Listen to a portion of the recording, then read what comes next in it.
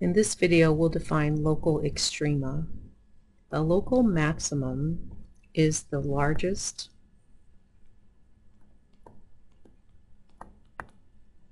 value of a function within a given interval. A local minimum is the smallest.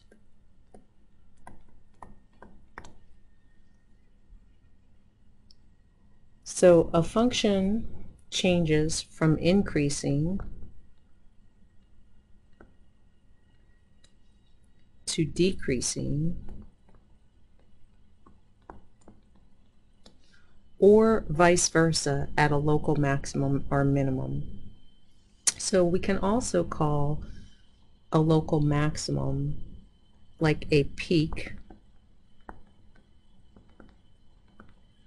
or a high point of the graph on a given interval. So that would mean that the graph would change from increasing to decreasing at that maximum.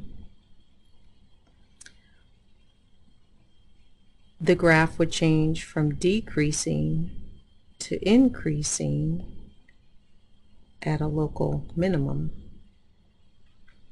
So a max or a min is the y value and it is located at an x value. So a maximum or minimum is not an ordered pair.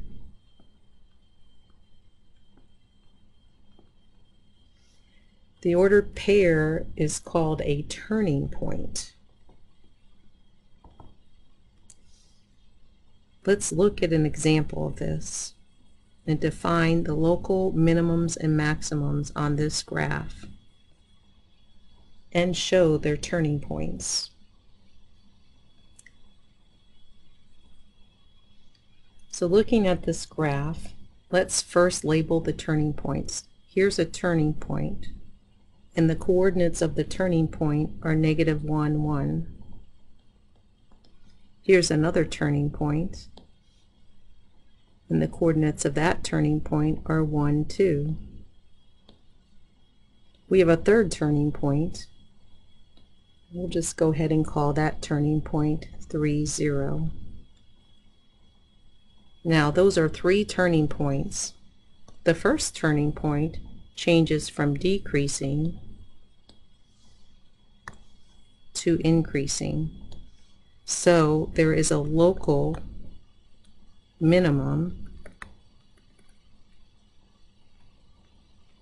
of 1, which is the y value, at negative 1, which is the x value.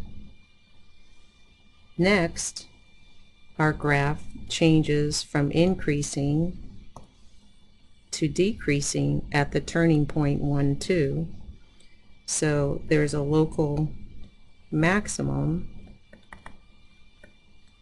of 2, which is the y value, at 1, which is the x value.